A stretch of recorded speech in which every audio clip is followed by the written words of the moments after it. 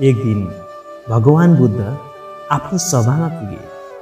त्यस बेला उनको हातमा डोरी थियो। बुद्धले आसन ग्रहण गरेर केही नभनी डोरी गाँठो पार्न थाले। त्यहाँ उनका शिष्यहरू थिए। गौतम बुद्धले डोरीलाई गाँठो पारिरहेको देखेपछि उनीहरूमा जिज्ञासा उठ्यो। अब के गर्ने होला? तब बुद्धले सबैलाई एक प्रश्न गरे। मैले यस डोरीको तिन गाँठो बनाएँ। अब म यो जान्न चाहन्छु कि यो त्यही डोरी हो जो गाँठो पार्नु अघि थियो एक शिष्यले उत्तर दिए गुरुजी यसको उत्तर दिनु थोरै कठिन छ। वास्तवमा यो हाम्रो हेराइमा निर्भर गर्छ। एक दृष्टिकोणबाट हेर्दा डोरी त्यही हो। यसमा कुनै परिवर्तन छैन। अर्को कोणबाट हेर्दा यसमा तिन गाँठो देखिन्छ जो पहिला थिएन। साँचो हो बुद्धले भने अब म यस गाँठोलाई खोल्नेछु। यति भनेर बुद्धले डोरीको दुवै छेउबाट समाएर जोड जोडले तान्न लागे। उनले सोचे तिमीहरूलाई के लाग्छ? यस प्रकारका डोरीलाई दुई तर्फबाट तान्न गाँठो केला होइन होइन। त्यसो गर्नुभयो भने त त्यो गाँठो ठप कसिलो पर्छ र यसलाई खोल्न मुस्किल पर्छ। एक शिष्यले जवाफ दिए। बुद्धले भने ठिक छ अब एक अन्तिम प्रश्न। भन यस गाँठोलाई खोल्नका लागि हामीले के गर्नु पर्ला एक शिष्यले उत्तर दिए गुरुजी यसका लागि हामीले हेर्नुपर्छ कि कसरी गाँठो परेको छ भनेर। म यही सुन्न चाहन्थेँ। मूल प्रश्न यही हो कि जुन समस्यामा तिमी फँसेका छौ वास्तवमा त्यसको कारण के हो? कारण नै पत्तो नपाई त्यसको समाधान सम्भव छैन। उनी भन्दै गए मैले देखेको छु कि धेरैजसो मान्छे कुनै पनि समस्याको कारण नै नबुझी त्यसको समाधान खोजिरहेका हुन्छन्। कतिले मलाई सोच्छन् कि मलाई किन रिस उठ्छ? मानिसहरू सोच्छन् कि म आफ्नो रिसलाई कसरी काबुमा राख्नु कोही यस्तो पनि सोच्छन् कि म भित्रको अहङ्कारको कसरी उठ्छु प्रिय शिष्य जसरी डोरीमा गाँठो पारेर त्यसको प्रकृति बदलिँदैन त्यही प्रकार मनुष्यमा पनि केही विकार आउँछ तर ऊ भित्रको तत्त्व उही हुन्छ। आवश्यकता के छ भने कुनै पनि समस्याको कारण राम्ररी जान्नुपर्छ। जब कारण फेला पर्छ त्यसको निवारण सहज हुन्छ।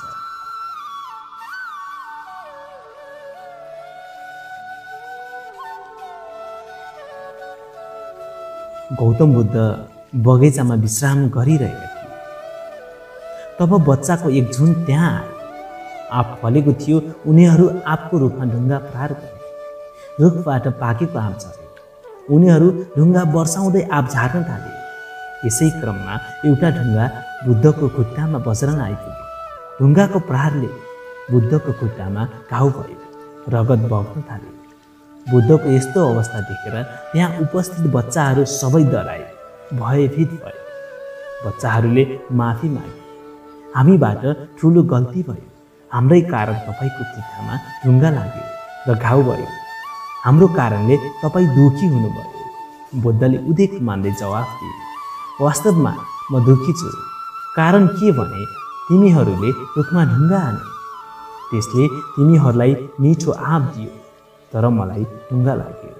मैले केवल तिमीहरूलाई डर त्रास दिए फल दिन सकिनँ।